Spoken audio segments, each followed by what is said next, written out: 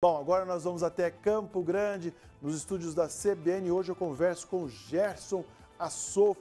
Bom dia, Gerson. Vamos falar aí da pré-matrícula para a rede estadual de ensino, é isso mesmo? Encerra quando? Isso aí, né? Bom dia para você, para toda a nossa audiência.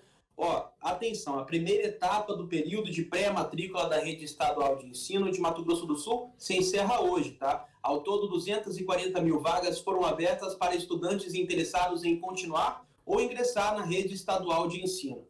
De acordo com o calendário da matrícula digital, todos os interessados que realizarem o preenchimento dos dados dentro do prazo estipulado terão os nomes publicados na primeira lista que será divulgada no, no domingo, dia 8, no portal da matrícula digital. O link do site está disponível no nosso portal e por lá é possível consultar também as ofertas disponíveis em cada escola da rede estadual de ensino, como educação de jovens e adultos, o EJA, ensino em tempo integral e educação profissional.